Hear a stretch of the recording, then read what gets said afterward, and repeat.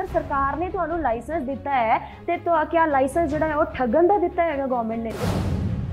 ਲੇਕਿਨ ਇਨਸਾਨ ਨੂੰ ਤੇ ਗਾਰੰਟੀ ਦਿੰਦੇ ਨੇ ਨਾ ਕਿ ਤੁਸੀਂ ਹਾਂਜੀ ਇਦਾਂ ਕਿ 15-20 ਲੱਖ ਰੁਪਏ ਤੁਹਾਡਾ ਲੱਗੂਗਾ, ਤੁਹਾਡਾ ਬੱਚਾ ਬਾਹਰ ਚੱਲ ਜਾਊਗਾ, ਪਹਿਲਾਂ ਤੁਸੀਂ ਸਾਨੂੰ 10 ਲੱਖ ਦੇ ਦਿਓ 50% ਪੇਮੈਂਟ ਦੇ ਦਿਓ, ਜਦੋਂ ਵੀਜ਼ਾ ਆਊਗਾ, ਉਸ ਤੋਂ ਬਾਅਦ ਤੁਸੀਂ ਸਾਨੂੰ ਦੂਸਰੀ ਦੇ ਦਿਓ, ਵੀਜ਼ਾ ਤਾਂ ਤੁਹਾਡਾ ਵੱਟ ਤੇ ਖੜਾ, ਵੀਜ਼ਾ ਤਾਂ ਤੁਹਾਨੂੰ ਅਸੀਂ ਇੰਨੇ ਦਿਨਾਂ 'ਚ ਦੇ ਦੇਵਾਂਗੇ।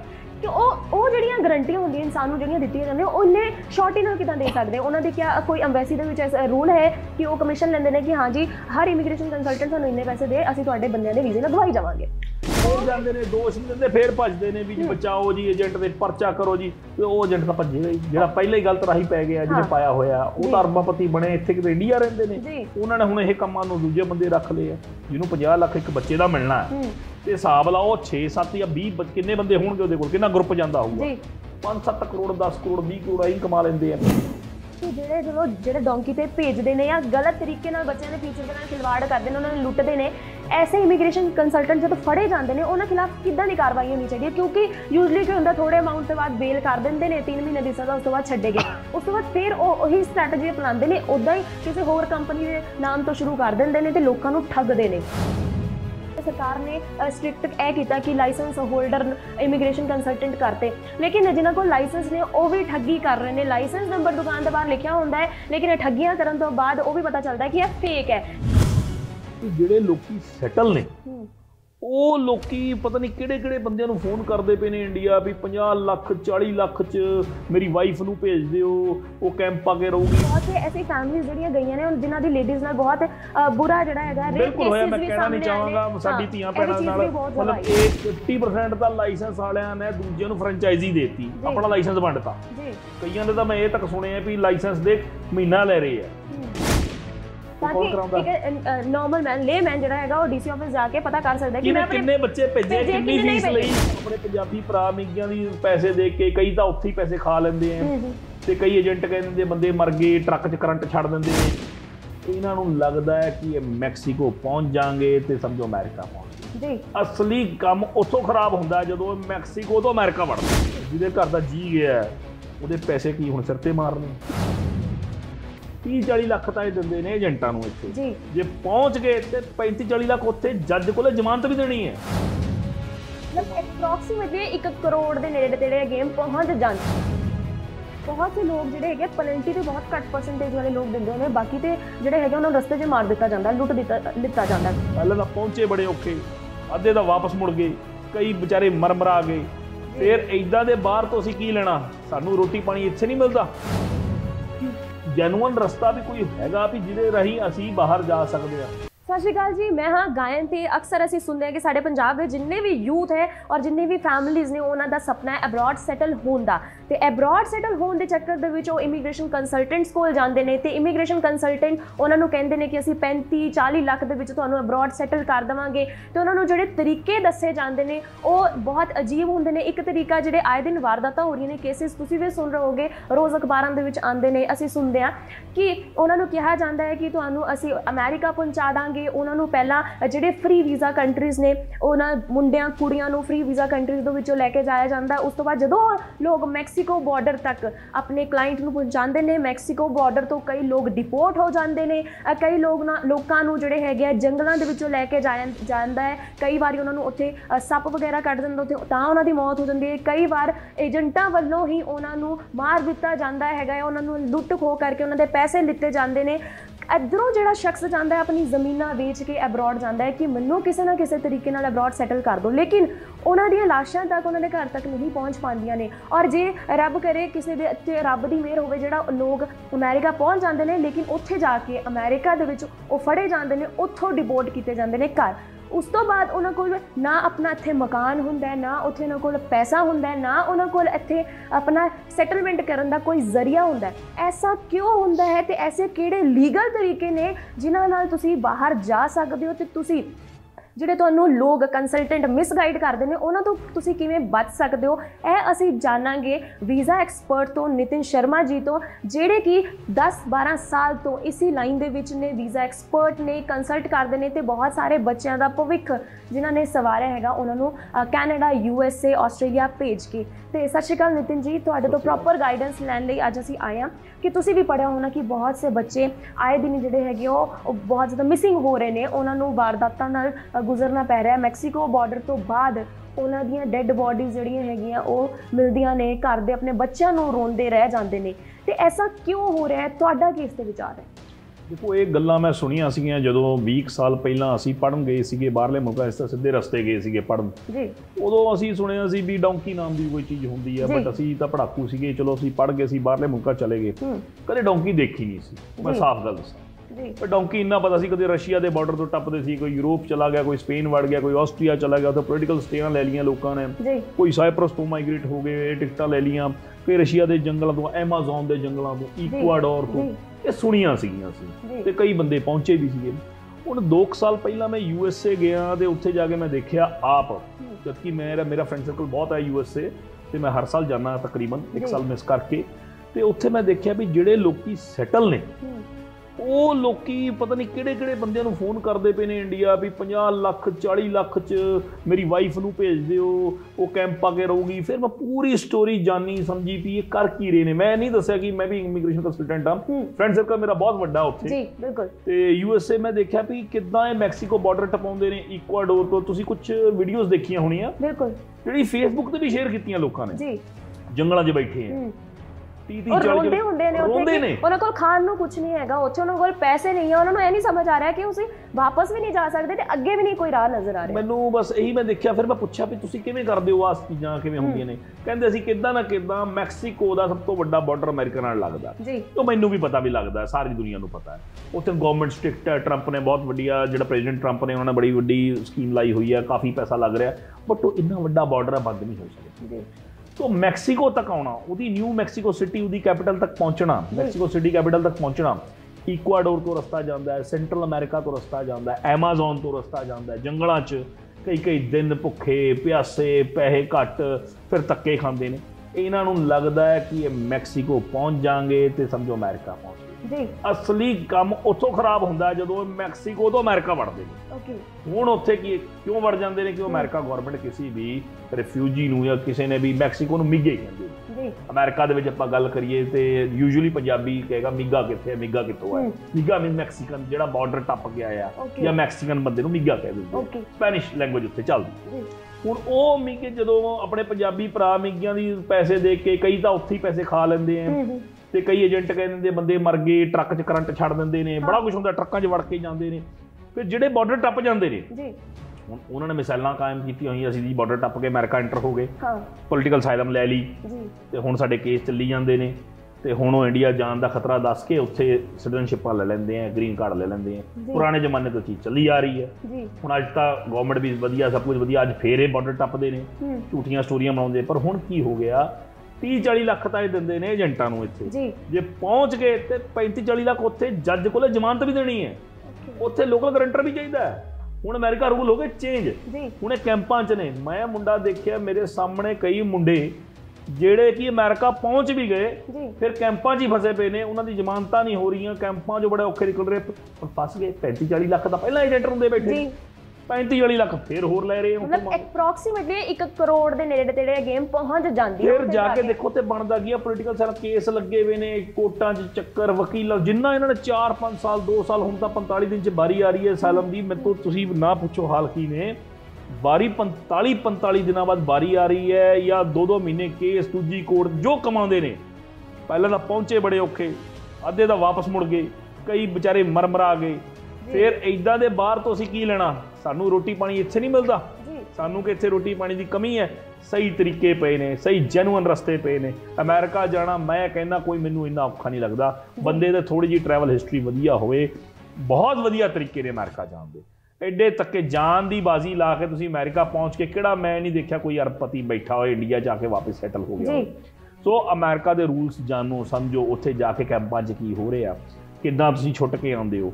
ਮੈਂ ਤਾਂ ਬਹੁਤ ਹਾਲਤ ਤਰਾਸਦੀ ਦੇਖੀ ਹੈ ਫਿਰ ਮੈਂ ਉਹਨਾਂ ਲੋਕਾਂ ਨੂੰ ਵੇਅਰ ਕੀਤਾ ਜੀ। ਵੀ ਜਦੋਂ ਉਹਨਾਂ ਨੇ ਮੇਰੀ ਵੀਡੀਓਜ਼ ਦੇਖੀਆਂ ਵੀ ਮੈਂ ਤਾਂ ਇੰਡੀਆ ਦੇ ਵਿੱਚ ਇਮੀਗ੍ਰੇਸ਼ਨ ਕੰਪਨੀ ਚਲਾ ਰਿਹਾ ਤੇ ਇੰਨੇ ਸਾਲਾਂ ਤੋਂ 15 ਸਾਲ ਮੈਨੂੰ ਹੋ ਗਏ। ਤੇ ਉਹ ਉਹਨਾਂ ਨੂੰ ਇਹੀ ਨਹੀਂ ਪਤਾ ਵੀ ਜੈਨੂਇਨ ਰਸਤਾ ਵੀ ਕੋਈ ਹੈਗਾ। ਜੀ ਬਿਲਕੁਲ। ਵੀ ਜੈਨੂਇਨ ਰਸਤਾ ਵੀ ਕੋਈ ਹੈਗਾ ਵੀ ਜਿਹਦੇ ਰਾਹੀਂ ਅਸੀਂ ਬਾਹਰ ਜਾ ਸਕਦੇ ਆ। ਫਿਰ ਹੁਣ ਜੈਨੂਇਨ ਰਸਤੇ ਅੱਜ ਤੋਂ 25 30 ਸਾਲ ਪਹਿਲਾਂ ਕੌਣ ਕਹਿੰਦਾ ਸੀ ਕੈਨੇਡਾ ਦੀ ਪੀਆਰ ਆਉਂਦੀ ਹੈ? ਤੇ ਉਦੋਂ ਵੀ ਪੀਆਰਾਂ ਲੱਗਦੀਆਂ ਸੀ, ਕੋਈ ਕੋਈ ਜਾਂਦਾ ਹੁੰਦਾ ਸੀ। ਤੁੱਕਾ ਤੁੱਕਾ। ਰਸਤੇ ਸਾਰੇ ਨੇ। ਜੇ ਜੈਨੂਇਨ ਕਿਸੇ ਨੇ ਫੜਨਾ ਹੋਏ। ਉਹ ਜਿਹੜੇ ਬੱਚੇ ਨੇ ਇਹੀ ਸੋਚ ਲਿਆ ਵੀ ਮੇਰੇ ਕੋਲ ਤਾਂ ਨਾ ਕੋਈ ਕਾਗਜ਼ ਹੈ ਨਾ ਮੈਂ ਪੜਿਆ ਨਾ ਮੈਂ ਕੁਝ ਕੀਤਾ ਮੈਂ ਤਾਂ 40 50 ਲੱਖ ਰੁਪਏ ਦੇ ਦੂੰਗਾ ਜ਼ਮੀਨ ਗਹਿਣੇ ਰੱਖ ਦਾਂਗਾ ਦੇਖ ਲਾਂਗਾ ਉੱਥੇ ਜਾ ਕੇ ਡਾਲਰ ਆਈ ਜਾਣੇ। ਜੀ। ਉਹਦੇ ਲਈ ਇਹ ਰਸਤੇ ਬਣੇ ਨੇ। ਬਟ ਮੇਰੀ ਐਡਵਾਈਸ ਇਹ ਹੈ ਕਿ ਇਸ ਰਸਤੇ ਤੇ ਕਦੇ ਨਾ ਪਾਓ ਜਿਨੇ ਪੈਣਾ ਹੈ, ਅੱਜ ਕੱਲ ਹਾਲਾਤ ਔਰ ਹਸ਼ਰ ਜੋ ਹੋ ਰਿਹਾ ਹੈ ਨਾ ਤੁਸੀਂ ਸੋਚ ਨਹੀਂ ਸਕਦੇ। ਜੀ ਵੈਲ ਡੋਂਕੀ ਲਾ ਕੇ 35 40 ਲੱਖ ਰੁਪਏ ਏਜੰਟ ਨੂੰ ਦੇਣਾ ਉਸ ਤੋਂ ਬਾਅਦ ਇਹ ਘੱਟ ਹੈ ਜੀ। 40 ਲੱਖ ਰੁਪਏ ਜਿਹੜਾ ਹੈਗਾ ਆ ਉੱਥੇ 60 60 ਲੱਖ 50 60 ਮਤਲਬ ਨਾਰਮਲ ਅਪਰੋਕਸੀਮੇਟਲੀ 1 ਕਰੋੜ ਦੀ ਗੇਮ ਦੇ ਲਾਗੇ ਛਾਗੇ ਪਹੁੰਚ ਜਾਂਦੇ ਨੇ। ਜੇ ਫੜੇ ਜਾਣ ਉੱਥੇ ਉੱਥੇ ਵੀ ਆਪਣੀ ਪੈਨਲਟੀ ਦੇਣੀ ਹੈ।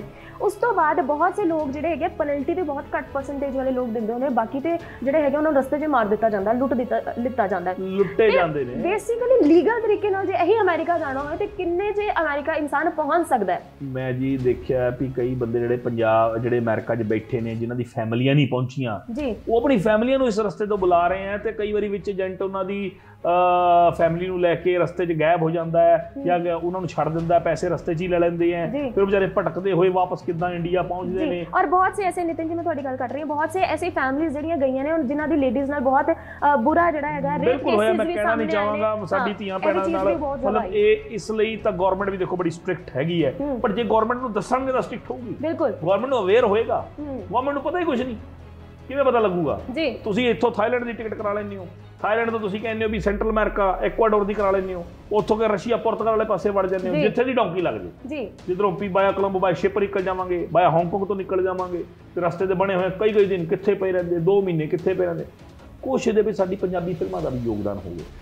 ਹੁਣ ਜਿਵੇਂ ਅਸੀਂ ਛੋਟੇ ਸੀ ਫਿਲਮ ਆਈ ਸੀ ਹੁਣ ਜੀਐਨ ਉਸ ਚ ਕਈ ਸੀ ਸਾਨੂੰ ਮਾਨ ਵਤਨਾਂ ਦਾ ਉਹ 'ਚ ਜਿਹੜੇ ਪੰਜਾਬੀ ਬਾਹਰ ਗਏ ਉਹ ਇਹੀ ਗੱਲਾਂ ਕਰਦੇ ਸੀ। ਵੀ ਮੈਂ ਤਾਂ 6 ਮਹੀਨੇ 'ਚ ਬਾਹਰ ਪਹੁੰਚਿਆ ਮੈਂ 9 ਮਹੀਨੇ 'ਚ ਬਾਹਰ ਪਹੁੰਚਿਆ। ਮੈਂ ਮੇਰਾ ਵਜਨ ਇੰਨਾ ਘਟ ਗਿਆ ਸੀ। ਉਹ ਕੀ ਕੀਤਾ? ਉਹਨਾਂ ਫਿਲਮਾਂ ਨੇ ਸਾਡੇ ਪੰਜਾਬੀ ਬੱਚਿਆਂ ਨੂੰ ਮਾਈਂਡ ਮਾਨਸਿਕਤਾ ਇਹ ਦਿਖਾਤੀ ਤਾਂ ਬੜਾ ਦਲੇਰੀ ਦਾ ਕੰਮ ਹੈ। ਹਾਂ ਹਾਂ ਹਾਂ। ਬਹੁਤ ਦਲੇਰੀ ਦਾ ਕੰਮ ਹੈ। ਕਾਗਜ਼ ਨਾ ਵੀ ਹੁਣ ਅਸੀਂ ਪਹੁੰਚ ਜਾਾਂਗੇ ਜੀ। ਤੇ ਹੁਣ ਦੇਖੋ ਆ ਹਾਦਸੇ ਕੀ ਹੋ ਰਹੇ? ਬੱਚੇ ਵਾਪਸ ਨਹੀਂ ਆ ਰਹੇ। ਜੀ। ਬੱਚੇ ਵਿੱਚ ਗਾਇਬ ਹੋ ਗਏ। ਵਿੱਚ ਵਿਚਾਰਿਆਂ ਦੇ ਮਾਪੇ ਨੂੰ ਪੁੱਛੋ ਜਿਹਨਾਂ ਨੇ ਜ਼ਮੀਨਾਂ ਗਈਆਂ ਘਰ-ਬਾਰ ਗਏ ਜਿਹੜੇ ਵਾਪਸ ਅਮਰੀਕਾ ਜਿਨ੍ਹਾਂ ਪਹੁੰਚ ਕੇ ਵੀ ਵਾਪਸ ਆ ਗਏ ਜਿਨ੍ਹਾਂ। ਦੇ ਬੱਚੇ। ਗਏ ਬੇਸਿਕਲੀ ਜਿਨ੍ਹਾਂ ਦੇ ਬੱਚੇ ਮਿਲੇ ਹੀ ਨਹੀਂ।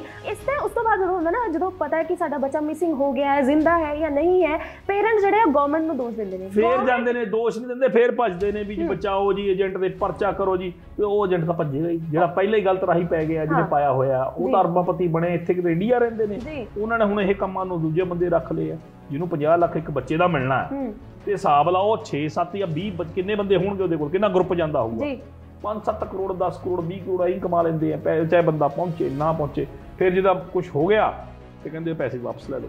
ਜੀ। ਜਿਹਦੇ ਘਰ ਦਾ ਜੀ ਗਿਆ ਉਹਦੇ ਪੈਸੇ ਕੀ ਹੁਣ ਸਿਰ ਤੇ ਮਾਰਨੇ? ਮੈਨੂੰ ਇਹ ਸਮਝਾਓ।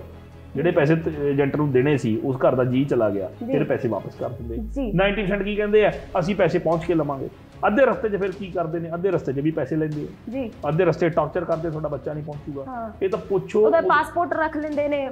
ਉਹਨਾਂ ਨੂੰ ਮੈਂਟਲੀ ਟੌਰਚਰ ਕਈ ਕਰਦੇ ਮੈਂ ਨੇ ਦੇਖੇ ਜਾਣਕਾਰ ਹੈ ਜੀ ਸਾਡੇ ਜਾਣਕਾਰ। ਜਾਣਕਾਰ ਕੀ ਹੈ? ਹੁਣ ਏਜੰਟ ਦੀ ਜ਼ਿੰਮੇਵਾਰੀ ਹੈ ਜੀ ਅਮਰੀਕਾ ਵੜਨ ਦੀ। ਹੁਣ ਲੋਕੀ ਅਮਰੀਕਾ ਯੂਐਸਏ ਐਂਟਰ ਕਰ ਜਾਂਦੇ ਆ। ਜੀ। ਉਹ ਫਿਰ ਪੈਸੇ ਲੈ ਲੈਂਦੇ ਆ। ਹੁਣ ਯੂਐਸਏ ਕੈਂਪਾਂ ਤੋਂ ਬਾਹਰ ਆਣਾ ਔਖਾ। ਉੱਥੇ ਤੁਸੀਂ ਜ਼ਮਾਨਤ ਦੇਣੀ ਬਹੁਤ ਔਖੀ ਹੈ ਜੱਜ ਕੋਲ। ਜੱਜ ਜ਼ਮਾਨਤ ਉਨੇ ਹੀ ਪੈਸੇ ਜੱਜ ਮੰਗਦਾ ਗਵਰਨਮੈਂਟ ਆਫ ਅਮਰੀਕਾ ਮੰਗੇਗੀ ਨਾ।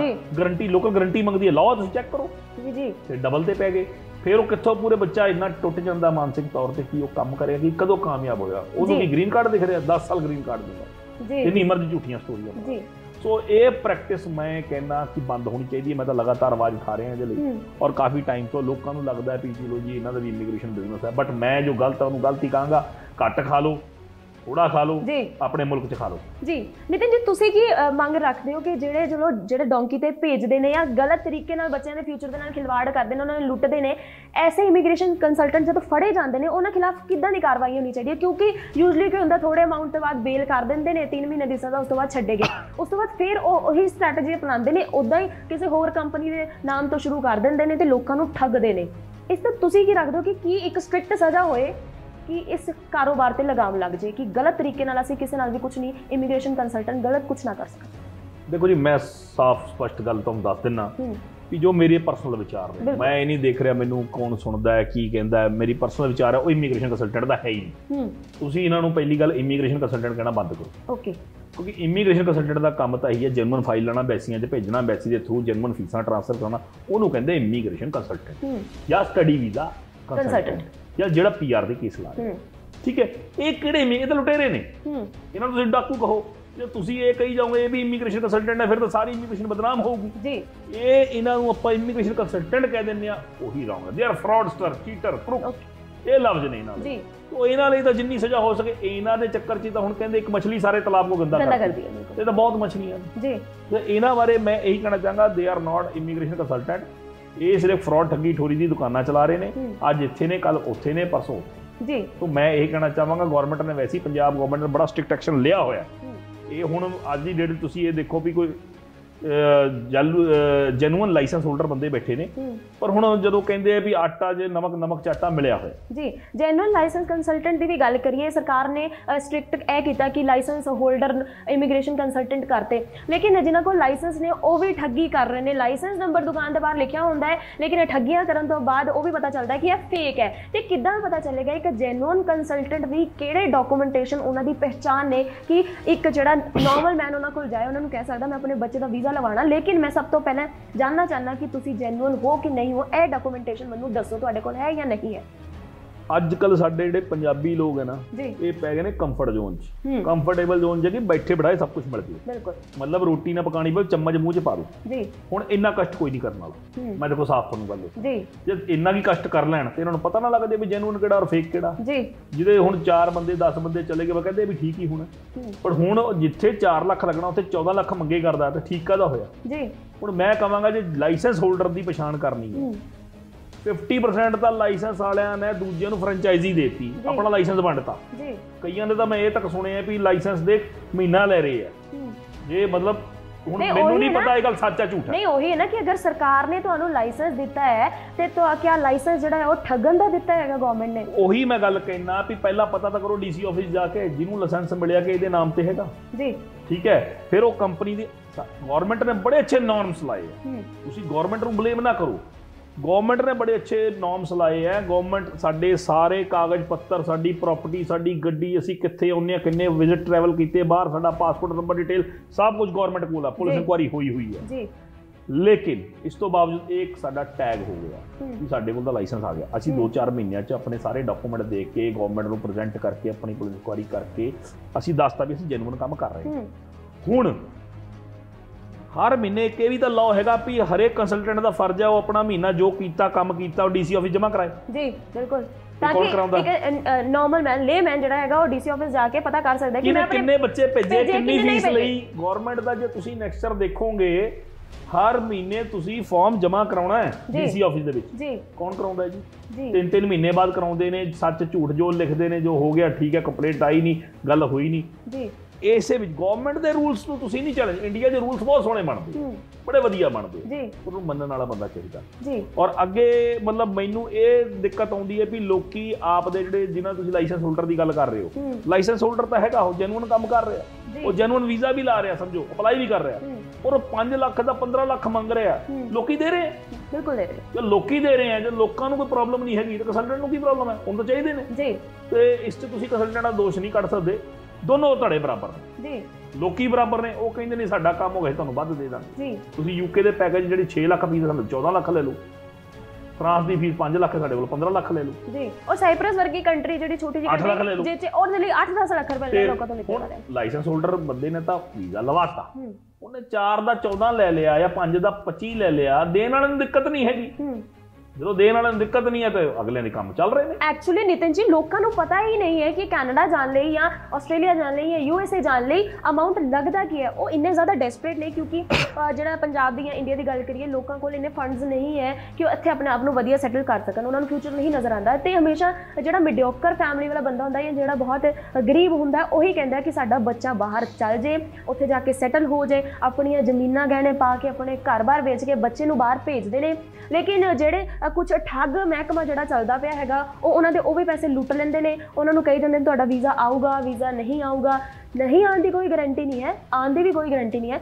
ਲੇਕਿਨ ਜਿਹੜੀ ਇੱਕ ਕਮਿਟਮੈਂਟ ਤੁਸੀਂ ਬਹੁਤ ਸਾਰੇ ਐਡਵਰਟਾਈਜ਼ਮੈਂਟ ਦੇਖੀਆਂ ਹੋਣਗੀਆਂ 100% ਗਰੰਟਿਡ ਵੀਜ਼ਾ। ਇਹ ਕਿਆ ਕਿਸੇ ਦੀ ਐਮਬੈਸੀ 'ਚ ਸੈਟਿੰਗ ਹੁੰਦੀ ਹੈ ਜਿਹੜੇ ਦੱਸਦੇ ਨੇ ਕਿ ਨਹੀਂ, ਨਹੀਂ। 100% ਵੀਜ਼ਾ ਆਊਗਾ ਹੀ ਆਊਗਾ। How can you be so sure ਕਿ ਅਸੀਂ ਵੀਜ਼ਾ ਦਵਾਂਗੇ ਹੀ ਦਵਾਂਗੇ? ਮੈਂ ਦੱਸਦਾ ਇਸ 'ਚ ਹੂੰ, ਖੇਡ ਨੂੰ ਜੇ ਸਮਝ ਗਏ ਲੋਕੀ ਤੇ ਬੜੀ ਵਧੀਆ ਗੱਲ ਹੋ ਜੂ। ਖੇਡ ਕੀ ਹੈ? 100% ਗਾਰੰਟੀ ਕੋਈ ਨਹੀਂ ਲਿਖ ਰਿਹਾ। ਜੀ। ਇਹ ਅੱਖਾਂ ਦਾ ਧੋਖਾ ਹੈ। ਜੀ। ਮੈਨੂੰ ਦਿਖਾ ਦਿਓ ਕਿਸੇ ਕੰਸਲਟੈਂਟ ਨੇ ਲਿਖਿਆ 100% ਗਾਰੰਟੀ ਵੀਜ਼ਾ ਬਹੁਤ ਸੇ ਨੇ ਬਹੁਤ ਨਹੀਂ ਨਹੀਂ ਨਹੀਂ ਐਡਵਰਟਾਈਜ਼ਮੈਂਟ ਜਿਹੜੀ ਹੈ ਤੁਸੀਂ ਮੇਰੀ ਗੱਲ ਸਮਝੋ ਮੇਰੀ ਗੱਲ ਸਮਝੋ। 100% ਗਾਰੰਟੀ ਨਹੀਂ ਲਿਖਿਆ। 100% ਵੀਜ਼ਾ ਅਸ਼ੋਰੈਂਸ ਲਿਖਿਆ। ਹੈ। ਵੀਜ਼ਾ ਅਸ਼ੋਰੈਂਸ ਮਤਲਬ ਜਾਂ 100% ਵੀਜ਼ਾ ਗਾਈਡੈਂਸ ਲਿਖਿਆ। ਜੀ। ਉਹ ਲੋਕਾਂ ਨੂੰ ਲੱਗਦਾ 100% ਵੀਜ਼ਾ ਗਾਰੰਟੀ ਆ ਉਹ। ਉਹ ਬੜੀ ਚਲਾਕੀ ਹੈ। ਜੀ। ਵੀਜ਼ਾ ਗਾਈਡੈਂਸ ਗਾਈਡੈਂਸ ਤਾਂ ਦੇ ਹੀ ਰਹੇ ਆ। 100% ਵੀਜ਼ਾ ਗਾਈਡੈਂਸ ਦਵਾਂਗੇ ਜੀ। ਉਹ ਲੋਕਾਂ ਨੂੰ ਲੱਗਦਾ 100% ਵੀਜ਼ਾ ਗਾਰੰਟੀ ਦੇਣਗੇ। ਜੀ। ਤੇ ਉਹ ਸਾਡੇ ਪੰਜਾਬੀ ਜਿਹੜੇ ਕਹਿੰਦੇ ਭੋਲਾ ਜੋ ਦੇਖਣਾ ਚਾਹੁੰਦਾ ਆ ਜੋ ਸੁਣਨਾ ਚਾਹੁੰਦਾ ਉਹ ਸੁਣਾ ਦਿੰਦੇ। ਜੀ। ਕਿ ਹਾਂਜੀ ਇਹ ਕੰਮ ਹੋਊਗਾ। ਵੀਜ਼ਾ ਗਾਰੰਟੀ ਨਹੀਂ ਲਿਖਦੇ ਇਹ। ਐਡ 'ਚ ਬੈਨ ਗਾਰੰਟੀ ਕਿਵੇਂ ਲਿਖ ਸਕਦੇ ਨੇ? ਜਦੋਂ ਵੀਜ਼ਾ ਵੀਜ਼ਾ ਅਫਸਰ ਨੇ ਦੇਣਾ। ਅੰਬੈਸੀ ਨੇ ਦੇਣਾ। ਇਹ ਕੌਣ ਹੁੰਦੇ ਗਾਰੰਟੀ ਦੇਣ ਵਾਲੇ? ਲੇਕਿਨ ਇਨਸਾਨ ਨੂੰ ਤੇ ਗਾਰੰਟੀ ਦੇਣਾ ਹੈ ਕਿ ਤੁਸੀਂ ਹਾਂਜੀ ਇਦਾਂ ਕਿ 15-20 ਲੱਖ ਰੁਪਏ ਤੁਹਾਡਾ ਲੱਗੂਗਾ, ਤੁਹਾਡਾ ਬੱਚਾ ਬਾਹਰ ਚੱਲ ਜਾਊਗਾ। ਪਹਿਲਾਂ ਤੁਸੀਂ ਸਾਨੂੰ 10 ਲੱਖ ਦੇ ਦਿਓ 50% ਪੇਮੈਂਟ ਦੇ ਦਿਓ। ਜਦੋਂ ਵੀਜ਼ਾ ਆਊਗਾ, ਉਸ ਤੋਂ ਬਾਅਦ ਤੁਸੀਂ ਸਾਨੂੰ ਦੂਸਰੀ ਦੇ ਦਿਓ। ਵੀਜ਼ਾ ਤਾਂ ਤੁਹਾਡਾ ਵੱਟ ਤੇ ਖੜਾ, ਵੀਜ਼ਾ ਤਾਂ ਤੁਹਾਨੂੰ ਅਸੀਂ ਇੰਨੇ ਦਿਨਾਂ 'ਚ ਦੇ ਦੇਵਾਂਗੇ। ਕਿ ਉਹ ਉਹ ਜਿਹੜੀਆਂ ਗਾਰੰਟੀਆਂ ਹੁੰਦੀਆਂ, ਇਨਸਾਨ ਨੂੰ ਜਿਹੜੀਆਂ ਦਿੱਤੀਆਂ ਜਾਂਦੀਆਂ, ਉਹ ਇੰਨੇ ਸ਼ਾਰਟੀ ਨਾਲ ਕਿਦਾਂ ਦੇ ਸਕਦੇ? ਉਹਨਾਂ ਦੀ ਕਿਆ ਕੋਈ ਐਮਬੈਸੀ ਦੇ ਵਿੱਚ ਐਸਾ ਰੂਲ ਹੈ ਕਿ ਉਹ ਕਮਿਸ਼ਨ ਲੈਂਦੇ ਨੇ ਕਿ ਹਾਂਜੀ, ਹਰ ਇਮੀਗ੍ਰੇਸ਼ਨ ਕੰਸਲਟੈਂਟ ਸਾਨੂੰ ਇੰਨੇ ਪੈਸੇ ਦੇ, ਅਸੀਂ ਤੁਹਾਡੇ ਬੰਦਿਆਂ ਦੇ ਵੀਜ਼ੇ ਲਗਵਾਈ ਜਾਵਾਂਗੇ? ਦੇਖੋ ਜੀ ਟੂਰਿਸਟ ਵੀਜ਼ੇ ਦੀ ਸਿੰਪਲ ਜੈਨੂਅਨ ਫੀਸ ਜਿਹੜੀ ਬਣਦੀ ਆ 20 25000 ਰੁਪਏ ਬਣ ਜੀ। ਮੈਂ ਤੁਹਾਨੂੰ ਸਹੀ ਦੱਸਾਂ। ਕੈਨੇਡਾ ਦਾ ਮਲਟੀਪਲ ਐਂਟਰੀ ਵੀਜ਼ਾ 10 ਸਾਲ ਦਾ ਅਮਰੀਕਾ ਦਾ ਮਲਟੀਪਲ ਐਂਟਰੀ ਵੀਜ਼ਾ 10 ਸਾਲ ਦਾ। ਕਿਸੇ ਵੀ ਕੰਟਰੀ ਦਾ ਵੀਜ਼ਾ ਜਿਹੜੀ ਜੈਨੂਅਨ ਗਵਰਨਮੈਂਟ ਦੇ ਨੋਰਮਸ ਹੈ। ਤੁਸੀਂ 20 25000 ਤੋਂ ਵੱਧ ਨਹੀਂ ਲੈ ਸਕਦੇ। ਜੀ। ਇਹ ਗਵਰਨਮੈਂਟ ਦੀ ਰੂਲਿੰਗ ਆਈ ਹੋਈ ਹੈ। ਸਾਨੂੰ ਪੰਜਾਬ ਸਟੇਟ ਟਰੈਵਲ ਏਜੰਟ ਜਿਹੜੀ ਤੁਸੀਂ ਸਾਈਡ ਤੇ ਜਾਓ।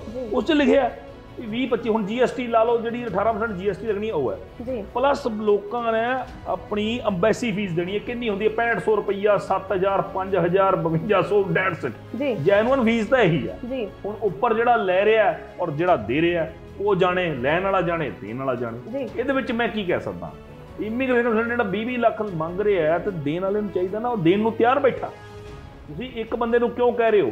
ਜੇ ਬੱਕਰੀ ਕੱਟ ਰਹੀ ਹੈ ਤੇ ਕੋਈ ਖਾਣ ਵਾਲੇ ਬੈਠੇ ਆ ਨਾ। ਐਕਚੁਅਲੀ ਕੱਟ ਇਸ ਲਈ ਰਹੀ ਹੈ ਕਿਉਂਕਿ ਲੋਕਾਂ ਨੂੰ ਪਤਾ ਹੀ ਨਹੀਂ ਹੈ ਕਿ ਬੇਸਿਕਲੀ ਜਾਣ ਲਈ ਪੈਸੇ ਕਿੰਨੇ ਲੱਗਦੇ ਨਹੀਂ ਆ। ਜੀ ਮੈਂ ਇਹ ਨਹੀਂ ਮੰਨ ਸਕਦਾ ਲੋਕਾਂ ਨੂੰ ਨਹੀਂ ਪਤਾ ਸਭ ਪਤਾ ਲੋਕਾਂ ਨੂੰ। ਮੈਂ ਸਾਰੇ ਕੰਸਲਟੈਂਟਾਂ ਨੂੰ ਵੀ ਨਹੀਂ ਕਹਿ ਸਕਦਾ ਵੀ ਇਹ ਸਾਰੇ ਦੇ ਸਾਰੇ ਗਲਤ ਨੇ। ਅੱਛਾ ਕੰਮ ਵੀ ਕਰ ਰਹੇ ਲੋਕੀ ਅੱਛੇ ਬੈਠੇ। ਤਾਂ ਹੀ ਦੁਨੀਆ ਪੰਜਾਬੀ ਬਾਹਰ ਕਿਉਂ ਬੈਠੇ ਨੇ? ਜੀ ਮੈਂ ਹੀ ਗੱਲ ਕਰਦਾ ਨਾ ਲੋਕਾਂ ਨੂੰ ਕੈਨੇਡਾ ਦਾ ਕਰੇਜ਼ ਹੈ ਸੀ ਕੈਨੇਡਾ ਜਾਣਾ ਹੈ। ਲੋਕਾਂ ਨੂੰ ਲੱਗਦਾ ਕਿ ਕੈਨੇਡਾ ਜਾਣਾ ਹੈ 15 ਤੋਂ 20 ਲੱਖ ਰੁਪਏ ਚਾਹੀਦਾ। ਤੁਸੀਂ ਦੱਸੋ ਕਿ ਕੈਨੇਡਾ ਜੇ ਇਨਸਾਨ ਨੇ ਜਾਣਾ ਹੈ ਤਾਂ ਇੱਕ ਸਾਲ ਦਾ ਉਹਦਾ ਕਾਸਟ ਜਿਹੜਾ ਸਟੱਡੀ ਵੀਜ਼ੇ ਤੇ ਬੱਚਾ ਜਾ ਰਿਹਾ ਹੈ ਕਿੰਨਾ ਖਰਚਾ ਉਹਦਾ? ਆਊਗਾ। ਸਟੱਡੀ ਦਾ ਖਰਚਾ ਇੰਨਾ ਹੀ ਹੈ ਜੀ। 15 ਤੋਂ ਸਟੱਡੀ 20 ਲੱਖ। 5 ਲੱਖ ਰੁਪਏ ਦਾ ਜੀਆਈਸੀ ਬੱਚੇ ਨੇ ਦਿਖਾਉਣਾ ਆਪਣਾ ਸਵਾ 5 5.5 ਲੱਖ। ਹੁਣ 12000 ਡਾਲਰ ਤੋਂ ਲੈ ਕੇ 22000 ਡਾਲਰ ਤੱਕ ਇੱਕ ਸਾਲ ਦੀ ਫੀਸ ਹੈ। ਹੁਣ 15000 ਡਾਲਰ ਐਵਰੇਜ ਫੜੋ। ਹੂੰ। 8 ਲੱਖ ਰੁਪਏ ਹੋ ਗਿਆ। ਲੱਖ ਰੁਪਏ ਦੀ ਟਿਕਟ ਹੋ ਗਈ। ਤੇ ਮਤਲਬ ਜੈਨੂਅਨ ਖਰਚਾ ਜਿਹੜਾ ਸਟੂਡੈਂਟ ਦਾ ਇੱਕ ਸਾਲ ਦਾ ਹੁੰਦਾ ਉਹ 12 ਲੱਖ ਤੋਂ ਲੈ ਕੇ 15 16 17 ਲੱਖ ਦਾ ਆਊਗਾ। ਅਗਲੇ ਸਾਲ ਫੇਰ ਫੀਸ ਖੜੀ ਹੈ। ਬਿਲਕੁਲ 30 ਲੱਖ ਰੁਪਏ ਇਹ ਤਾਂ ਜੈਨੂਅਨ ਹੈ ਦੇਖੋ। ਇਸ ਤੋਂ ਇਹ ਇਹ ਘਟ ਨਹੀਂ ਸਕਦਾ। ਕਿਉਂਕਿ ਫੀਸ ਦੇਣੀ ਹੈ ਬੱਚੇ ਦੇ ਅਕਾਊਂਟ 'ਚ ਜਾਣੀ ਹੈ ਕਾਲਜ ਦੇ ਅਕਾਊਂਟ 'ਚ ਜੀ। ਜੀਆਈਸੀ ਬੱਚੇ ਦੇ ਅਕਾਊਂਟ 'ਚ ਜਾਣਾ ਜੀ। ਇਹ ਹੀ 12 13 ਲੱਖ ਤਾਂ ਇਹੀ ਹੋ ਗਿਆ 14 ਲੱਖ ਤਾਂ ਇਹੀ ਹੋ ਗਿਆ। ਹੂੰ। ਫਿਰ ਉਹ ਕੁਝ ਨਾਲ ਲੈ ਜਾਊਗਾ ਪੈਸੇ ਤੇ ਕੁਝ ਇਹ ਟਿਕਟ ਲੈ ਲਊਗਾ। ਹੁਣ ਇਹਦੇ ਉੱਪਰ ਵੀ ਕੰਸਲਟੈਂਟ ਲਈ ਜਾਵੇ ਜੀ। ਤੇ ਜੀ ਉਹਦਾ ਫਿਰ ਮੈਂ ਕੁਝ ਨਹੀਂ ਕਹਿ ਸਕਦਾ। ਇਹਦੇ ਉੱਪਰ ਵੀ ਤੁਸੀਂ ਲੈ ਜਾਓ ਇੰਨਾ ਖਰਚਾ ਹੈ। ਹੂੰ। ਹੁਣ ਬੱਚਿਆਂ ਨੂੰ ਅਵੇਅਰਨੈਸ ਹੋਣੀ ਚਾਹੀਦੀ ਵੀ ਇਦਾਂ ਦੇ ਵੀ ਕਾਲਜ ਹੈਗੇ ਆ। ਜੀ। ਹੁਣ ਮੇਰੇ ਕੋਲ ਇੱਕ ਕਾਲਜ ਹੈ ਬੜੀ ਸਿੰਪਲ ਜੀ ਗੱਲ ਆ ਉਹਦੀ ਫੀਸ ਹੀ 6 ਲੱਖ ਹੈ 2 ਸਾਲ ਦੀ। ਓਕੇ। 2 ਸਾਲ ਦੀ ਫੀਸ 6 ਲੱਖ ਕੈਨੇਡਾ। ਮਤਲਬ ਸਿੰਗਾਪੁਰ ਦੀ ਨਹੀਂ ਹੁੰਦੀ। ਹਾਂ ਬਿਲਕੁਲ। ਸਿੰਗਾਪੁਰ ਦੇ ਬਰਾਬਰ ਕਰਤੀ 2 ਸਾਲ ਮਤਲਬ 3 ਲੱਖ ਦੀ ਫੀਸ ਇੱਕ ਸਾਲ। ਤੇ ਹੁਣ ਲੋਕੀ ਇੰਟਰਸਟਿਡ ਹੋਣਗੇ ਤਾਂ ਆਉਣਗੇ ਜੀ। ਆਪਾਂ ਨੇ ਤਾਂ ਕਿਹੜੀ ਫੀਸ ਲੈਣੀ ਨਹੀਂ। ਸਾਫ਼ ਕਹਿਣਾ ਵੀ ਕਾਲਜ ਅਕਾਊਂਟ 'ਚ ਜਮ੍ਹਾਂ ਕਰਾਓ। ਉਹੀ ਤੁਸੀਂ ਮੈਸੇਜ ਕਾਗਜ਼ ਲਾਓ। ਵੀਜ਼ਾ ਤੁਹਾਡੀ ਬੱਲੇ ਬੱਲੇ ਤੁਸੀਂ 1 ਸਾਲ ਦੇ 3.5 ਲੱਖ ਰੁਪਈਆ ਦੇ ਦਿਓ।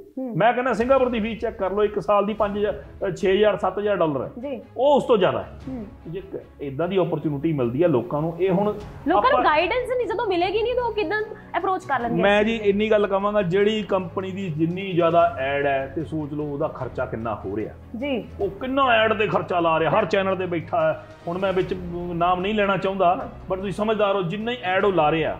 ਉਹਨੇ ਪੈਸੇ ਵੀ ਤੇ- ਕੱਢਣੇ ਆ। ਐਡ ਤੇ ਹੀ ਮੈਂ ਗੱਲ ਕਰਾਂਗੇ ਕਿ ਜਦ ਵੀ ਕੋਈ ਬੱਚਾ ਇਸ ਕਿਸੇ ਇੰਸਟੀਚਿਊਟ ਦੇ ਵਿੱਚ ਆਇਲਸ ਟ੍ਰੇਨਿੰਗ ਲਈ ਜਾਂਦਾ ਤੇ ਉੱਥੇ ਬਹੁਤ ਵੱਡੀਆਂ ਵੱਡੀਆਂ ਫੋਟੋਆਂ ਲੱਗੀਆਂ ਹੁੰਦੀਆਂ ਕਿ ਇਸ ਸ਼ਖਸ ਨੇ ਇਹ ਨਾਮ ਹੈ ਇੰਨੇ 8 ਬੈਂਡ ਦੇ ਆਏ ਹੈ 8.5 ਬੈਂਡ ਆਏ ਹੈ 7 ਬੈਂਡ ਆਏ ਹੈ ਇਸ ਚੀਜ਼ ਦਾ ਹੁਣ ਜੇ ਅਸੀਂ ਰਿਕਾਰਡ ਦੇਖੀਏ ਤੇ ਅਸੀਂ ਜਦ ਵੀ ਬ੍ਰਿਟਿਸ਼ ਕਾਉਂਸਲ ਦੀ ਸਾਈਟਸ ਚੈੱਕ ਕਰਾਂਗੇ 'ਚ ਸਿਰਫ 2 ਹਫ਼ਤੇ ਦਾ ਰਿਕਾਰਡ ਰਹਿੰਦਾ ਜਾਂ 3 ਹਫ਼ਤੇ ਦਾ ਰਹਿੰਦਾ ਉਹਦੇ 'ਚ ਵੀ ਇਹ ਨਹੀਂ ਪਤਾ ਕਿ ਇਸ ਬੰਦੇ ਨੇ ਕਿੱਥੋਂ ਕਿਹੜੇ ਇੰਸਟੀਚਿਊਟ ਤੋਂ ਆਇਲਸ ਕੀਤੀ ਹੈ।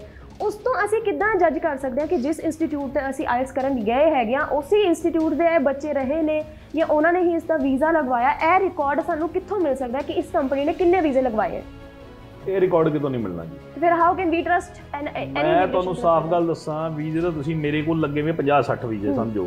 ਮੈਂ 3 ਮਹੀਨਿਆਂ 'ਚ 60 ਵੀਜ਼ੇ ਲਾਤੇ ਕੈਨੇਡਾ ਦੇ ਮੇਰੇ ਕੋਲੋਂ ਬੱਚੇ ਚਲੇ ਗਏ। ਮੈਂ ਐਗਜ਼ਾਮਪਲ ਦੇ ਰਿਹਾ। ਉਹ ਬੱਚਿਆਂ ਦੇ ਵੀਜ਼ੇ ਲੱਗੇ ਐ ਬੱਚਿਆਂ ਨੇ ਫੋਟੋ ਖਿੱਚੀ ਉਹ ਡਾਟਾ ਕਈ ਜਗ੍ਹਾ ਟਰੈਵਲ ਕਰ ਜਾਂਦਾ ਹੈ ਬਿਲਕੁਲ। ਆਈਲਿਟਸ ਦਾ ਤੁਸੀਂ ਕੀ ਡਾਟਾ ਟਰੈਵਲ ਨਹੀਂ ਕਰਦਾ? ਆਈਲਿਟਸ ਦਾ ਪੇਪਰ ਅੱਜ ਜਿਵੇਂ 14 ਫਰਵਰੀ ਦਾ ਪੇਪਰ ਹੋਇਆ 15 ਮੇਰੇ ਕੋਲ ਚੱਕੋ ਕਿੰਨਾ ਡਾਟਾ ਹੋ ਰਿਹਾ। ਤੁਸੀਂ ਇਸ ਟਾਈਮ ਪੰਜਾਬ ਦੇਖੋ ਸੀ ਗੇਮ ਕੀ ਚੱਲ ਰਹੀ ਹੈ। ਜੀ। ਇਸ ਟਾਈਮ ਉਹ ਡਾਟਾ ਟਰੈਵਲ ਹੋ ਜਾਂਦਾ ਸਾਰੇ ਕੰਸਲਟੈਂਟਾਂ ਕੋਲ ਵੀ ਇੰਨੇ ਬੱਚਿਆਂ ਨੇ ਲਿਟ ਦਾ ਪੇਪਰ ਦਿੱਤਾ ਜੀ 2000 ਬੱਚੇ ਨੇ ਪਟਿਆਲੇ ਦਿੱਤਾ ਚੰਡੀਗੜ੍ਹ ਦਿੱਤਾ ਉਹ ਡਾਟਾ ਫਿਰ ਸਾਰੇ ਲੋਕੀ ਫੋਨ ਕਰਨੇ ਸ਼ੁਰੂ ਹੋ ਜਾਂਦੇ ਧੜਾ ਧੜ ਫੋਨ ਜਾਂਦੇ ਨੇ। ਜੀ। ਉਹ ਫਿਰ ਜਿਹੜਾ ਜਿੱਧਰ ਫਸ ਗਿਆ ਉਧਰ ਫਸ ਗਿਆ। ਇੱਕ ਹੋਰ ਜਿਹੜਾ ਤੁਸੀਂ ਨੇ ਮੈਂ ਤੁਹਾਡੇ। ਸਵਾਲ ਦਾ ਜਵਾਬ ਦੇਣਾ ਆਈਲਿਟਸ ਦਾ ਇੰਸਟੀਚਿਊਟ ਜਿਵੇਂ ਮੈਂ ਕਿਹਾ ਇਹ ਜਿਹੜੀ ਮੈਡਮਾਂ ਪੜਾਉਂਦੀਆਂ ਪਈਆਂ ਨੇ 6-6 ਬੈਂਡ ਲੈ ਕੇ ਤਾਂ ਇਹਨਾਂ ਦੇ ਆਏ ਹੋਏ ਆ ਜਿਹੜੀਆਂ ਪੜਾਉਂਦੀਆਂ ਪਈਆਂ ਨੇ। ਇਹ ਕਿਦਾਂ ਬੱਚੇ ਦੇ 8 ਬੈਂਡ ਲਿਆ ਦਿੰਦੀਆਂ 6-6 ਬੈਂਡ ਲੈ ਕੇ ਤੇ ਆਪ ਬੈਠੀਆਂ। 6.5 ਬੈਂਡ ਦੇ ਇਹਨਾਂ ਦੇ ਆਪ ਆਏ ਹੋਏ ਆ। ਹੁਣ ਇਹਨਾਂ ਨੇ ਬਣਾਇਆ ਹੋਇਆ ਆਈਲਿਟਸ ਇੱਕ ਬਹੁਤ ਵੱਡਾ ਬਿਜ਼ਨਸ ਨੈਕਸਸ ਹੈ। ਹੂੰ। ਸਾਲ-ਸਾਲ ਦੇ ਕੋਰਸ 8 ਮਹੀਨੇ 6 ਮਹੀਨੇ 7 ਮਹੀਨੇ। 7 ਮਹੀਨੇ ਕੀ? ਮਤਲਬ ਜਿਹੜਾ ਬੱਚਾ ਮੈਂ ਕਹਿੰਦਾ 45 ਦਿਨ ਦੇ ਜਿਹਨੂੰ ਮੈਂ ਕਹਿੰਦਾ ਇੱਕ ਟੈਗ ਪੁਆਇੰਟ ਹੈ 45 ਦਿਨ ਮੈਂ ਹਮੇਸ਼ਾ ਕਹਿੰਦਾ। 45 ਦਿਨ ਚ ਬੰਦੇ ਨੂੰ formula theme idioms grammar vocabulary ਸਭ ਸਮਝ ਆ ਜਾਂਦਾ। ਜੀ। ਨਹੀਂ ਆਈ ਹੋਰ 45 ਦਿਨ ਲੈ ਲਾ। ਬਸ that's it thank you very much ਜੀ। ਤੇ ਬੱਚੇ ਨੂੰ ਪਤਾ ਲੱਗ ਜਾਂਦਾ ਵੀ ਮੈਂ ਕਿੰਨੇ ਪਾਣੀ 'ਚ ਖੜਾ। ਐ ਤਾਂ 12 ਸਾਲ ਅੰਗਰੇਜ਼ੀ ਪੜਦਾ ਰਿਹਾ ਉਹਨੂੰ ਕੱਖ ਨਹੀਂ ਆਉਣਾ ਇਹਨਾਂ ਸਭ ਦੇ ਧੰਦੇ ਚੱਲ ਰਹੇ ਆ। ਹੁਣ ਜਿਹਨੇ ਵੀਜ਼ਾ ਲਵਾਉਣਾ ਉਹ ਆਈਲਟਸ ਵੀ ਕਰਾ ਰਿਹਾ ਤਾਂ ਉਹਦੀ ਤਾਂ ਦੋ ਦੋ ਇਨਕਮ ਆਏਗੀ ਜੀ। ਅਸੀਂ ਵੀ ਕਰਾਉਨੇ ਆ ਆਇਲਟਸ। ਪਰ ਮੈਂ ਸਿੱਧੀ ਬਾਈ ਬੈਕ ਗਾਰੰਟੀ ਦਿੰਦਾ ਵੀ ਜੀ ਮੇਰੇ ਕੋਲ ਪੜਨਾ ਜੇ ਪੇਮੈਂਟ ਨਹੀਂ ਆ ਇਹ ਪੈਸੇ ਵਾਪਸ ਚੱਕੋ ਜੀ। ਬਟ ਆਪਾਂ ਕੋਈ ਨੂੰ ਬਿਜ਼ਨਸ ਨਹੀਂ ਬਣਾਉਣਾ ਵੀ 8 ਮਹੀਨੇ 6 ਮਹੀਨੇ 4 ਮਹੀਨੇ 7 ਮਹੀਨੇ ਬੱਚਾ ਸਾਡੇ ਕੋਲ ਆ ਰਿਹਾ ਜਾਂ ਫੀਸਾਂ ਦੇਈ ਜਾਂ ਬੈਠੇ ਜਾਂ ਮਾਪਿਓ ਵੀ ਬੜੇ ਖੁਸ਼ ਨੇ ਬੱਚਾ ਆਇਲਟਸ ਕਰਤਾ ਆਇਲਟਸ ਦਾ ਮਤਲਬ ਇੱਕ ਇਹੀ ਹੈ ਕਿ ਬੱਚਾ ਬਾਹਰਲੇ ਮੁਲਕ ਜਾ ਕੇ ਕਾਮਯਾਬ ਹੋ ਜੇ ਪੜ੍ਹਾਈ ਕਰ ਲੇ ਵਧੀਆ ਨੌਕਰੀ ਲੱਗ ਜੇ ਕਮਿਊਨੀਕੇਟ ਕਰ ਲੈ ਬੇਸਿਕਲੀ ਕਿਸੇ ਨਾਲ। ਹੁਣ ਜੀ ਇਹ ਸਾਰੀ ਜਗ੍ਹਾ ਹਰ ਚੀਜ਼ ਦੀ ਬਿਜ਼ਨਸ ਕੀ ਕਰੋ ਤੁਸੀਂ ਹਰੇਕ ਕਿਸੇ ਦੇ ਕੋਲ ਵੀ ਆਈਡੀਪੀ ਬ੍ਰਿਟਿਸ਼ ਕਾਉਂਸਲ ਇਹ ਲੈਂਦੀ ਆ ਪੇਪਰ। ਤੁਸੀਂ ਕਿਵੇਂ ਕਹਿ ਸਕਦੇ ਹੋ ਕਿ ਕੋਈ ਫਲਾਣੇ ਇੰਸਟੀਚਿਊਟ ਦੇ ਬੱਚਿਆਂ ਦੇ ਇੰਨੇ ਬੈਂਡ ਆਏ ਆ ਹਜ਼ਾਰ ਬੱਚੇ ਨੇ ਅਪਲਾਈ ਕੀਤਾ ਹੋਣਾ ਇੱਕ। ਵੱਡੇ ਇੰਸਟੀਚਿਊਟ ਚੋਂ। ਉਸ ਚੋਂ 100 ਦੇ ਆਏ ਹੋਣੇ 900 ਰਹਿ ਗਏ। ਜੀ ਹੁਣ ਸੌ 900 ਦੇ ਫੇਰ ਇਧਰ ਉਧਰ ਘੁੰਮਦੇ ਆ 6-6 ਮਹੀਨੇ ਦਾ ਪੜ੍ਹਾਈ ਗਏ ਉਹ ਪੈਸੇ ਕਿੱਥੇ ਗਏ? ਜੀ। ਆਈਲਟਸ ਲਈ ਮੈਂ ਇਹੀ ਕਹਿਣਾ ਚਾਹਾਂਗਾ ਬੱਚਿਆਂ ਨੂੰ ਜਿਹੜੇ ਤਾਂ ਕਨਵੈਂਟ ਐਜੂਕੇਟਿਡ ਬੱਚੇ ਨੇ ਪਬਲਿਕ ਸਕੂਲਾਂ ਦੇ ਇੰਗਲਿਸ਼ ਮੀਡੀਅਮ ਸੀਬੀਐਸਈ ਬੋਰਡ ਪੜ੍ਹੇ ਹੋਏ ਆ ਉਹਦਾ ਬੈਂਡ ਲੈ ਜਾਂਦੇ ਆ। ਪੰਜਾਬ ਬੋਰਡ ਵਾਲੇ 6-6 ਮਹੀਨੇ 4-4 ਮਹੀਨੇ ਲਾਉਂਦੇ ਪਰ ਕਈ ਬੱਚੇ ਬਹੁਤ ਇੰਟੈਲੀਜੈਂਟ ਆ ਮੈਂ ਦੇਖੇ ਆ ਜਿਨ੍ਹਾਂ ਨੂੰ ਆਪਣੇ ਪੇਰੈਂਟਸ ਦੇ ਪੈਸੇ ਦਾ ਪਤਾ ਵੀ ਕਿੱਥੋਂ ਕਮਾਉਂਦੇ ਨੇ ਔਖੇ ਸੌਖੇ ਉਹ ਬੱਚੇ ਜ਼ਰੂਰ ਮਾਰਕਸ ਲੈ ਕੇ ਜਾਂਦੇ ਆ ਸਿੰਸੀਅਰ ਮੈਂ ਤਾਂ ਅੱਜਕੱਲ ਦੇਖ ਰਿਹਾ ਐਡਾਂ ਆ ਰਹੀਆਂ ਫੇਸਬੁੱਕ ਤੇ ਵੀ 500 600 ਰੁਪਏ ਦੇ ਵਿੱਚ ਵੀ ਤੁਸੀਂ ਉਹ ਦਿਓ। ਮੌਕ ਟੈਸਟ ਦੋ ਦਿਓ। ਆਪਣੇ ਆਪ ਨੂੰ ਜੱਜ ਕਰਾਓ ਉਸ ਤੋਂ ਬਾਅਦ ਕਿ ਤੁਸੀਂ ਕਿੰਨੇ ਕੁ ਪਾਣੀ 'ਚ ਹੋ ਕਿ ਉਹ ਤਾਂ ਅਲੱਗ ਹੈ। ਹੂੰ। ਮੌਕ ਟੈਸਟ ਤਾਂ ਅਲੱਗ ਹੈ। ਇਹ ਹੈਗਾ ਆਇਲਟਸ ਦਾ ਪ੍ਰੀ ਟ੍ਰੇਨਿੰਗ ਟੈਸਟ ਓਕੇ ਵੀ ਤੁਸੀਂ ਆਇਲਟ ਦਾ ਪੇਪਰ ਦਿਓ ਸਿਰਫ 600 ਰੁਪਏ ਦੇ ਜਿਹੜਾ ਕਿਤੇ ਵੈਲਿਡ ਬਲੂਡ ਕਿਤੇ ਨਹੀਂ ਹੈ। ਵੀ ਅਸੀਂ ਤੁਹਾਨੂੰ ਦੱਸਾਂਗੇ ਵੀ 600 ਰੁਪਏ ਦੇ ਵਿੱਚ ਵੀ ਤੁਹਾਡੇ ਕਿੰਨੇ ਬੈਂਡ ਆ ਸਕਦੇ ਹੁਣ ਦੇਖੋ ਉਹ ਬੱਚਾ ਬੜਾ ਖੁਸ਼ ਹੋ ਕੇ ਜਾਏਗਾ ਕਿ ਇਹ ਕਿੱਥੇ 13000 ਦੇ ਕੇ ਬੈਂਡ ਲੈਣੇ ਕਿਤੇ 600 ਦਵਾਂਗਾ। ਉਹ ਬੱਚਾ 600 600 ਕਰਦੇ ਕਰਦੇ 100 200 500 1000 ਬੰਦੇ ਨੇ 600 ਦੇਤਾ ਉਧਰ ਤਾਂ ਭਰ ਗਈਆਂ ਜੇਬਾਂ। ਪਰ ਗਿਆ ਜੁਬਾ ਫਿਰ ਉਹ ਆਪਣੇ ਉਹਨਾਂ ਦੀ ਆਪਣੀ ਟੀਮ ਹੈ ਉਹ ਆਪ ਹੀ ਆਈਡੀਪੀ ਹੈ। ਅੱਛਾ। ਆਪ ਹੀ ਬ੍ਰਿਟਿਸ਼ ਕਾਉਂਸਲ ਆਪ ਹੀ ਆਈਡੀਪੀ ਆਪ ਹੀ ਸਭ ਕੁਝ ਬਣ ਗਏ ਆ। ਤੇ ਆਪ ਹੀ ਉਹਨਾਂ ਨੇ ਬੈਂਡ ਕੱਢ ਕੇ ਦੇਣੇ ਤੁਹਾਡੇ ਤਾਂ ਜੀ ਇੰਨੇ ਆਉਂਦੇ ਠੀਕ ਹੈ। ਹੁਣ ਸਭ ਦੇ ਘੱਟ ਆ ਗਏ ਆ ਵੱਧ ਆ ਗਏ ਜੋ ਵੀ ਹੈ ਫਿਰ ਉਹ ਬੱਚੇ ਕਿੱਥੇ ਜਾਣਗੇ? ਉਹ ਬੱਚੇ ਉਹਨਾਂ ਕੋਲ ਹੀ ਜੁਆਇਨ ਕਰਨ ਜੀ। ਤੋ ਇਹ ਬਹੁਤ ਬੜਾ ਨੈਕਸਸ ਹੈ। ਕਿ ਤੁਸੀਂ ਆਪਣੇ ਆਇਲਟਸ ਇੰਸਟੀਚਿਊਟ ਚਲਾਉਣੇ ਦੀ ਡੈਮੋ 600 ਰੁਪਏ ਤੁਹਾਡੀ ਕਿਤੇ ਵੈਲਿਡ ਨਹੀਂ ਕੋਈ ਗੱਲ। ਗੱਲ 600 ਰੁਪਏ ਦੀ ਨਹੀਂ ਹੈ। ਗੱਲ ਹੈ ਵੀ ਤੁਸੀਂ ਹਜ਼ਾਰਾਂ ਬੱਚੇ ਕਿਵੇਂ ਆਪਣੇ ਕੋਲ ਜੀ। ਔਰ ਤੁਸੀਂ ਕੌਣ? ਕੀ ਮੈਂ ਵੀਜ਼ਾ ਅਫਸਰ ਬਣ ਕੇ ਕਹਿ ਸਕਦਾ ਲਿਆਓ ਜੀ ਮੇਰੇ ਕੋਲ ਫਾਈਲ ਲਿਆਓ ਮੈਂ ਦੱਸਾਂਗਾ 10 ਮਿੰਟ 'ਚ ਤੁਹਾਡਾ ਵੀਜ਼ਾ ਆਣਾ ਕਿ ਨਹੀਂ ਆਣਾ ਮੈਂ ਨਹੀਂ ਬਣ ਸਕਦਾ ਉਹ ਚੀਜ਼। ਜੋ ਜਿਹਦਾ ਕੰਮ ਹੈ ਉਹਨੂੰ ਸਜਦਾ ਆ। ਉਹਨੂੰ ਪਤਾ ਇਹ ਮੇਰੇ ਹਿਸਾਬ ਨਾਲ ਇਹ ਸਾਰੇ ਬਸ ਨਹੀਂ ਨਹੀਂ ਟੈਕਨੀਕਸ ਆਂਦੀਆਂ ਹੋਰ ਆਣਗੀਆਂ ਹਲੇ। ਜੀ। ਦੇਖੀ ਜਾਓ। ਜੀ। ਇਹ ਕੋਈ ਅੱਜ ਦੇ ਕੋਈ ਇਮੀਗ੍ਰੇਸ਼ਨ ਠੱਗੀ ਡੋਰੀ ਨਹੀਂ ਸ਼ੁਰੂ ਹੋਈ। ਜਦ ਦੀ ਆਪਾਂ ਸੁਣ ਰਹੇ ਤਦ ਦੀ ਚੱਲ ਰਹੀ ਹੈ। ਜਿੰਨੀ ਵਧ ਰਹੀ ਹੈ ਵਧ ਰਹੀ ਹੈ। ਜੀ। ਅੱਜ ਕੱਲ ਤਾਂ ਉਲਟਾ ਮੈਂ ਇਹ ਕਹਿਣਾ ਚਾਹਾਂਗਾ ਲੋਕਾਂ 'ਚ ਅਵੇਅਰਨੈਸ ਆ ਰਹੀ ਹੈ ਜੀ। ਔਰ ਆਣੀ ਵੀ ਚਾਹੀਦੀ ਹੈ। ਜੀ। ਇਹਨਾਂ ਨੂੰ ਜਿੰਨਾ ਹੋ ਸਕੇ ਦੱਸੋ ਮੈਂ ਤਾਂ ਇਹੀ ਕਹਿਣਾ ਦੱਸੋ। ਜੀ। ਨਿਤਿਨ ਜੀ ਸਾਡੇ ਕੋਲ ਸਮਾਂ ਸਮਾਪਤ ਹੋਣ ਵਾਲਾ ਹੈ ਤੇ ਮੇਰਾ ਇੱਕ ਸਵਾਲ ਤੁਸੀਂ ਵੀ ਅਕਸਰ ਸੁਣਿਆ ਹੋਣਾ ਕਿ ਜਦ ਵੀ ਕੋਈ ਬੱਚੇ ਨੇ ਗਵਰਨਮੈਂਟ ਜੌਬ ਦੇ ਪੇਪਰਾਂ ਦੀ ਤਿਆਰੀ ਕਰਨੀ ਹੈਗੀ ਹੈ ਤੇ ਉਹਦੀ ਫੀਸ ਹੁੰਦੀ ਹੈ 12 ਤੋਂ ਲੈ ਕੇ 13000 ਇੱਕ ਬਹੁਤ ਅੱਛੇ ਇੰਸਟੀਚਿਊਟ ਦੀ ਔਰ ਉਹ ਫੀਸ ਤਦ ਤੱਕ ਹੁੰਦੀ ਹੈ ਜਦ ਤੱਕ ਬੱਚੇ ਦਾ ਪੇਪਰ ਨਹੀਂ ਕਲੀਅਰ ਹੁੰਦਾ। ਮਤਲਬ 5 ਸਾਲ ਲਈ 6 ਸਾਲ ਲਈ 10 ਸਾਲ ਲਈ। ਲੇਕਿਨ ਇੱਕ ਆਇਲਸ ਇੰਸਟੀਚਿਊਟ ਦੀ ਜਦੋਂ ਟ੍ਰੇਨਿੰਗ ਲੈਣੀ ਹੈ ਤੇ 15 ਦਿਨਾਂ ਦੀ 20 ਦਿਨਾਂ ਦੀ ਫੀਸ ਜਿਹੜੀ ਹੈਗੀ ਉਹ 25000 ਰੁਪਏ ਹੈ। ਉਸ ਤੋਂ ਬਾਅਦ, ਉਹ 25000 ਤੋਂ ਬਾਅਦ ਜਦ ਬੱਚੇ ਨੂੰ ਲੱਗਦਾ ਮੈਂ ਹਜੇ ਵੀ ਪ੍ਰਿਪੇਅਰ ਨਹੀਂ, ਉਸ ਤੋਂ ਬਾਅਦ ਕਿਹਾ ਜਾਂਦਾ 7 ਦਿਨ ਦਾ ਇੱਕ ਟ੍ਰਾਇਲ ਕੋਰਸ ਹੋਰ ਕਰ ਲਓ। ਉਸ ਤੋਂ ਬਾਅਦ 7 ਦਿਨ ਹੋਰ ਐਕਸਟੈਂਡ ਕੀਤੇ ਜਾਂਦੇ ਨੇ। ਉਹਦੇ ਨਾਮ ਤੇ ਇੱਕ ਆਇਲਸ ਕੋਰਸ ਨੂੰ ਸਿਰਫ ਜਿਹੜਾ ਤੁਹਾਡੇ ਅਕੋਰਡਿੰਗਲੀ 45 ਦਿਨਾਂ ਦਾ ਕੋਰਸ ਹੈ, ਉਹਦੇ ਤੇ ਹੀ ਆਇਲਸ ਤੇ ਹੀ ਬੱਚਿਆਂ ਤੋਂ ਲੱਖਾਂ ਰੁਪਏ ਐਂਟੇ ਜਾਂਦੇ ਆ। ਤੁਹਾਡਾ ਕੀ ਇਸ ਤੇ ਟੇਕ ਹੈ ਕਿ ਇਹ ਜਿਹੜੇ ਕੋਰਸ ਹੈ, ਇਸ ਤੇ ਲੋਕਾਂ ਨੇ ਇੰਨੀ ਠੱਗੀ ਕਿਉਂ ਸ਼ੁਰੂ ਕੀਤੀ ਔਰ ਇਹ ਕਦੋਂ ਖਤਮ ਹੋਣ ਵਾਲੀ ਹੈ? ਦੇਖੋ ਜੀ ਪੰਜਾਬੀ ਆਉਂਦਾ ਦੁਖੀ ਹੋ ਗਏ ਵੀ ਸਾਨੂੰ ਅੰਗਰੇਜ਼ੀ ਆਉਂਦੀ ਨਹੀਂ ਤੇ ਕਰਾਓ ਦਾ ਪੇਪਰ ਤੇ ਨੰਬਰ ਦਈਏ ਹੂੰ। ਹੁਣ ਉੱਥੇ ਅੰਗਰੇਜ਼ੀ ਦੇ ਵੱਡੇ ਵੱਡੇ ਵਰਡ ਪਾ ਦਿੱਤੇ ਇਹਨਾਂ ਨੇ ਬਿਗਨਰ ਟੌਡਲਰ ਫਿਨਿਸ਼ਰ ਇਹ ਉਹ। ਤੇ ਬੱਚੇ ਨੂੰ ਲੱਗਦਾ ਪਤਾ ਨਹੀਂ ਖਬਰ ਹੈ ਮੈਂ ਬਿਗਨਰ ਕਰਕੇ ਕੀ ਹੋ ਜਾਵਾਂਗਾ ਟੌਡਲਰ ਕਰਕੇ ਕੀ ਹੋ ਜਾਵਾਂਗਾ ਫਿਨਿਸ਼ਰ ਕਰਕੇ। ਉਹ ਪਹਿਲਾਂ ਡਰਾਇਆ ਹੋਇਆ ਸਿਸਟਮ ਬਣਾਇਆ ਤੇ 3 ਮਹੀਨੇ ਬਿਗਨਰ ਕਰਾਵਾਂਗੇ ਫਿਰ ਟੌਡਲਰ ਕਰਾਵਾਂਗੇ ਨਹੀਂ ਨਹੀਂ ਡਰਾਮੇ ਨਹੀਂ ਨਹੀਂ ਤੁਹਾਨੂੰ ਇਹ ਕਲਾਸ ਚਾਹੀਦੀ ਹੈ ਤੁਹਾਨੂੰ ਹੁਣ ਬੁੱਕਸ ਅਸੀਂ ਦਵਾਂਗੇ ਤੁਹਾਨੂੰ ਬੈਗ ਅਸੀਂ ਦਵਾਂਗੇ ਆਪਣੇ ਬੈਗਾਂ ਦੇ ਬ੍ਰਾਂਡਿੰਗ ਆਪਣੇ ਸਾਰੇ ਦੇ ਬ੍ਰਾਂਡਿੰਗ। ਕੁੱਲ ਮਿਲਾ ਕੇ ਖਊਆ ਕ੍ਰੀਏਟ ਕਰ ਦਿੱਤਾ ਗਿਆ। ਪੰਜਾਬ ਦਾ ਸਾਰੇ ਨੌਜਵਾਨ ਯੁਵਕ ਆਈਏਐਸ ਆਈਪੀਐਸ ਨੂੰ ਛੱਡ ਕੇ ਵਧੀਆ ਯੂਪੀਐਸ ਸਰਵਿਸਿਜ਼ ਨੂੰ ਛੱਡ ਕੇ। ਵਧੀਆ ਹੋਰ ਥੀਮ ਨੂੰ ਛੱਡ ਕੇ ਇਸੇ ਪਾਸੇ ਹੋ ਗਏ। ਜੀ। ਖਬਰਾਂ ਇਹ ਬਹੁਤ ਵੱਡੀ ਤੋਪ ਆ ਚੁੱਕੀ ਹੂੰ। ਜਦ ਕਿ ਮੈਂ ਕਿਹਾ ਕੈਲੀਬਰਡ ਪਰਸਨ 45 ਦਿਨ ਦੇ ਵਿੱਚ ਆਪਣੇ 6 ਬੈਂਡ ਤੋਂ ਵੱਧ ਲੈ ਜਾਏਗਾ। ਕੈਲੀਬਰਡ ਪਰਸਨ ਦੂਜੀ ਗੱਲ ਇਹ ਹੈ ਇਹ ਲੋਕਾਂ ਦੀ ਕੋਈ ਫੀਸ ਦੀ ਦੇਖੋ ਐਜੂਕੇਸ਼ਨਲ ਫੀਸ ਦਾ ਕੋਈ ਗਵਰਨਮੈਂਟ ਦਾ ਨਾਮ ਨਹੀਂ ਹੈਗਾ। ਵੀ ਤੁਸੀਂ ਇੰਨੀ ਲੈਣੀ ਹੈ। ਹੁਣ ਕਈ ਲੋਕੀ 25000 ਰੁਪਏ ਮਹੀਨਾ ਲੈ ਰਹੇ ਕਈ ਅਹ, 18000 ਲੈ ਰਹੇ ਕਈ 15 ਲੈ ਰਹੇ ਜਿਹਦਾ ਵਿਚਾਰਾ ਦਾ ਇੰਸਟੀਚਿਊਟ ਚੱਲਦਾ ਹੀ ਨਹੀਂ ਉਹ ਕਹਿੰਦਾ ਫ੍ਰੀ ਆਇਲਟ ਇਦਾਂ ਦੇ ਬੋਰਡ ਲੱਗੇ ਤੁਹਾਨੂੰ ਦਿਖਣੇ ਆ। ਉਹ ਕਹਿੰਦਾ ਬੱਚੇ ਆਉਣ ਤਾਂ ਸਹੀ ਕਿੱਦਾਂ ਨਾ ਕਿੱਦਾਂ। ਵੀ ਮੇਰੇ ਕੋਲ ਅਪਲਾਈ ਕਰਨਗੇ ਫ੍ਰੀ ਆਇਲਟ ਵਾਲੇ ਵੀ ਬੈਠੇ ਆ। ਉਹਨਾਂ ਦੇ ਵੱਲ ਵੀ ਗੱਲ ਕਰੋ। ਜੀ। ਫ੍ਰੀ ਆਇਲਟ ਵਾਲੇ ਉਹਨਾਂ ਦੇ ਕੌਣ ਪੁੱਛੂਗਾ ਵਿਚਾਰਿਆਂ ਨੂੰ। ਤੇ ਜਿਹੜੇ ਜੈਨੂਅਨ ਚੱਲ ਰਹੇ ਆ ਉਹਨਾਂ ਦੀ 18000 20000 22000 ਪਰ ਮੰਥ ਫੀਸ ਆ 15 ਦਿਨ ਦੀ। ਫੀਸ ਲੈ ਰਹੇ ਆ। ਹੁਣ ਆਪਾਂ ਸਪੈਸ਼ਲੀ ਮੈਂ ਵੀ ਇਹ ਕਹਿੰਦਾ ਵੀ ਅਸੀਂ 20 25000 ਜ਼ਰੂਰ ਲੈਣੇ ਆ ਪਰ ਪੂਰੇ ਕੋਰਸ ਦਾ ਹੀ ਲੈਣੇ ਆ ਪਰ ਜੇ ਆ ਗਏ ਵੈਨ ਠੀਕ ਹੈ ਨਹੀਂ ਤਾਂ ਵਾਪਸ ਲੈ ਜਾਓ। ਜੀ।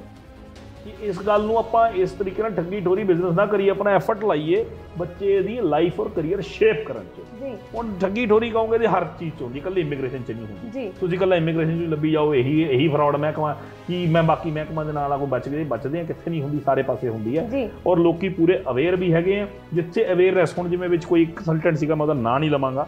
ਤੇ ਉਹਨੇ ਬੜਾ ਸ਼ੋਰ ਮਚਾਇਆ ਜੀ ਆਸਟ੍ਰੇਲੀਆ ਦੇ ਆ ਗਏ ਜੀ work permit open work permit ਬੜਾ ਡਰਾਮਾ ਸ਼ੁਰੂ ਹੋ ਗਿਆ ਜੀ ਉਹ ਜੀ। ਦਫ਼ਤਰ ਭਰ ਗਏ। ਉਹ ਮੈਂ ਪਹਿਲਾ ਸੀਗਾ ਜਿਹਨੇ ਟੀਵੀ ਚੈਨਲ 'ਚ ਆ ਕੇ ਬੋਲਿਆ ਮੈਂ ਕਿਹਾ ਝੂਠ ਹੈ ਫਰਾਡ ਹੈ ਇਹ ਕੰਮ। ਕਿਉਂ? ਮੈਂ ਨਾਮ ਨਹੀਂ ਲਿਆ ਪਰ ਮੈਂ ਉਦੋਂ ਵੀ ਇਹ ਦੱਸਿਆ ਮੈਂ ਕਿਹਾ ਫਰਾਡ ਕਰਦਾ ਕਿਉਂਕਿ ਇੰਡੀਆ ਉਸ ਕੈਟਾਗਰੀ 'ਚ ਆਈ ਨਹੀਂ ਸੀ। ਸਪੇਨ ਬੈਲਜੀਅਮ ਇਟਲੀ ਇਸ ਕੰਟਰੀ ਦੇ ਲੋਕਾਂ ਨੂੰ ਉਹ ਓਪਨ ਵਰਕ ਪਰਮਿਟ ਆਸਟ੍ਰੇਲੀਆ ਦਾ ਮਿਲਦਾ ਸੀ। ਜੀ।